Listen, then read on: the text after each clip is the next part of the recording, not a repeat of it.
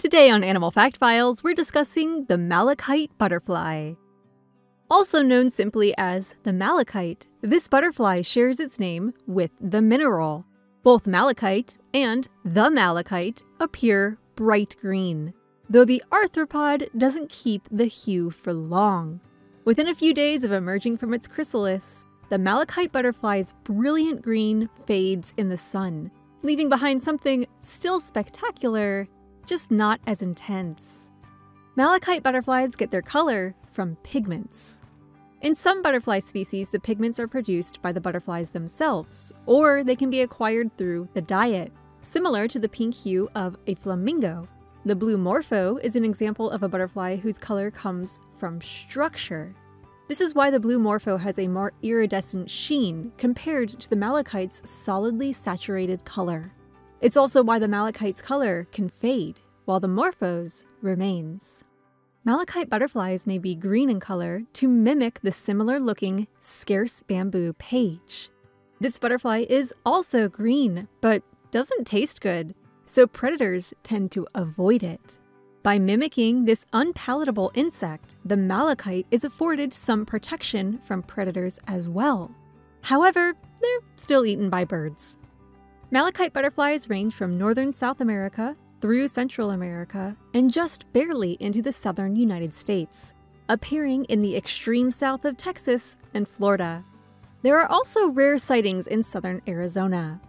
The malachite is a somewhat larger butterfly with a wingspan of just over 3 inches on average. They live from sea level to over 4,500 feet in elevation, favoring forest edges and glades. They're also seen in parks and backyards, spending their time around green plants with which they easily blend in. Malachite butterfly adults eat nectar, as well as dung, like the droppings from bats, and rotten fruit, like bananas and mangoes. Their larvae eat leaves. These caterpillars have a threatening aura with their black body and bright red spikes, but they're more hermity than you might imagine. Malachite butterfly larvae spend most of their time on the underside of leaves, hoping to avoid contact not just with predators, but with basically anyone else. Even when prodded, these caterpillars don't move around much, preferring to stay in place and simply eat their greens. Malachite butterfly eggs and their chrysalis, on the other hand, retain that green hue. These butterflies lay their eggs on the underside of leaves, singly or in small groups, numbering fewer than five. Their chrysalis is a translucent green with two black horns along the bottom and an array of golden horns along the side. These butterflies reproduce year round throughout most of their range, with multiple generations occurring in a single year. So, most don't live longer than a year. Those born around winter overwinter. Adult malachite butterflies spend their days eating and their nights resting, once again, on the underside of leaves. They often gather in small groups while they sleep.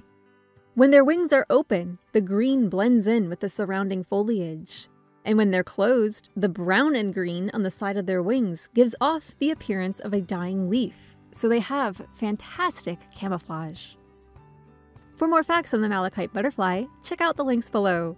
Give a thumbs up if you learned something new today. Thank you to our patrons, Spike Spiegel93, Dad, and everyone else for their support of this channel. And thank you for watching Animal Fact Files.